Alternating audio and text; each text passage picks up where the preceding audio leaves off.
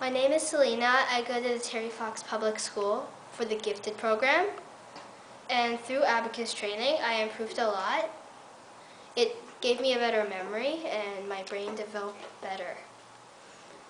So um, it really helps in French because in French you got to remember all the new words and the verbs and everything. And it also helps in math because abacus is bas- basically math. And um, it just basically makes um, learning easier for me.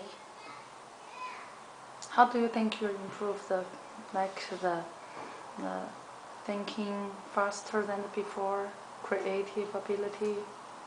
Well, um, it does help me improve my reaction to stuff happening around me. And do you think you are very smart now? Quick Um, thinking? I'm still not as smart as other people in my class, But but y- better than before. better than yourself before. How about uh, you get a lot of changes through the abacus training from Yeah. beginning? You was grade one. When I was in grade one, um, my first term report card was mostly B's. I, I don't remember having that many A's. And then in the second term, after I started learning abacus, it went to mostly A's. Just, yeah, You get through the changes. yeah. Okay, you through the abacus training, you got the change from your second semester from grade one, Yeah.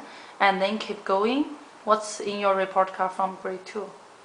Um, well, in the first, most of most of mostly A's. A's, yeah. Grade three, all A's. Yeah. Okay, that's why you But then in selected grade four, it went back down to B's because of the gifted, gifted program. program. So after grade three, you selected by the school Yeah. board to gifted program. That's a little bit harder than the normal Yeah. study. Okay, so so you keep going, and to get keep Yeah. going to improve in the future, and uh, I think you will be a very good student. Okay, Okay. thanks.